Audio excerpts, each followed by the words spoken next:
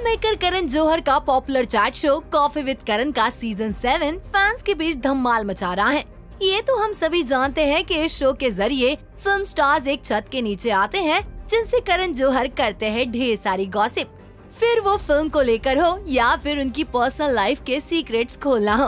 Well अब सातवां season शुरू है, जहाँ बॉलीवुड के कई बड़े बड़े सितारे अपने पर्सनल लाइफ के राज खोल रहे हैं। लेकिन क्या आपको पता है कि बॉलीवुड के कुछ ऐसे भी स्टार्स हैं जो अब तक के सीज़न में नज़र नहीं आए हैं। या यूँ कहे कि उन्हें इनवाइट ही किया नहीं गया है।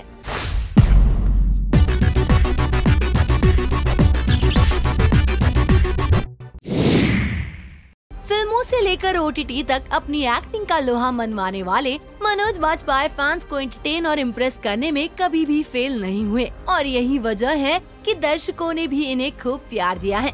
लेकिन इस एक्टर को करण जौहर ने अब तक शो में आने का इनविटेशन नहीं दिया है। रिपोर्टेडली मनोज बाजपेयी सात में से किसी भी सीज़न में नज़र नहीं आए हैं। रेखा बस नाम ही काफ़ी है। बॉलीवुड की हसीना रेखा आज करोड़ों लोगों के दिलों पर राज करती हैं।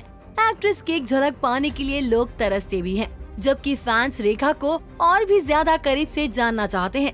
इसके बावजूद भी अब तक रेखा कॉफ़ी विद करण का हिस्सा नहीं बनी है।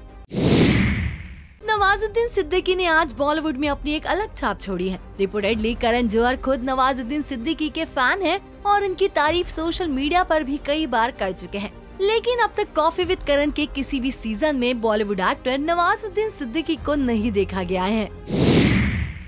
कहते हैं कि एक जमाना गोविंदा का है। बॉलीवुड सुपरस्टार गोविंदा अपने दौर के कितने बड़े सेलिब्रिटी रह चुके हैं, ये हर कोई जानता है, लेकिन इसके बावजूद आज तक 80 और 90 के दशक का ये स्टार करण जौहर के शो में दिखाई नहीं दिया। यही वजह है कि कई बार करण पर नेपोटिज्म पर बढ़ावा देने के आरोप भी लगते आ रहे हैं। अपनी कातिलाना अदाओं और एक्टिंग से हुमा कुरेशी ऑडियंस को इम्प्रेस करती हैं। हुमा की गिनती उन स्टार्स में होती है जो हॉलीवुड में भी डेब्यू कर चुकी हैं।